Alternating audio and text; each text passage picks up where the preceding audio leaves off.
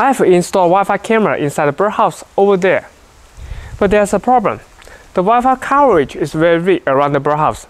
I cannot have a good video on my mobile phone. I will use this Wi-Fi repeater to repeat the Wi-Fi signal and place this Wi-Fi repeater inside of these glasses. Usually we'll place this Wi-Fi repeater between the camera and the router. We will connect the camera to this Wi-Fi repeater and connect the Wi-Fi repeater to a router. We can easily use the Wi-Fi to connect the repeater to a router or we can use the cable to connect the repeater to a router.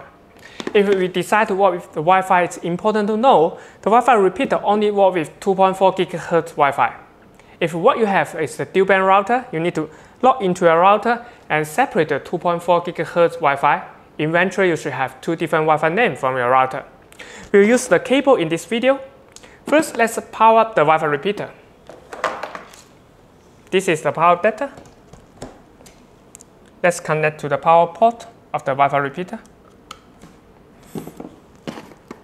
I will use this short punch code to link the Wi-Fi repeater to our home router.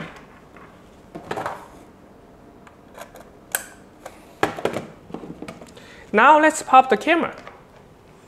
This is the outdoor ready power adapter.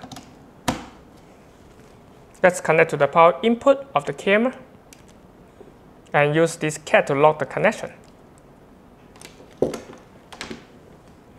Now let's move to the add. From here, we choose other way to pair the network, device in the LAN.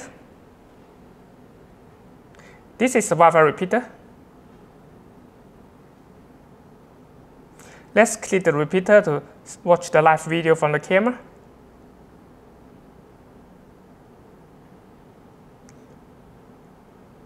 We need to wait for a while before we can see the cameras on light. Now the camera's on light. Let me switch to full screen. This is the 180p high definition video from the camera. I also can hear the audio from the camera. Hello? Hello? The camera is waterproof. Why the waterproof is so important?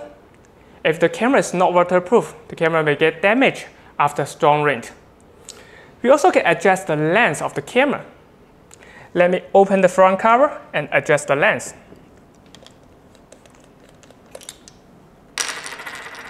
You can adjust the lens to have the best focus from the camera.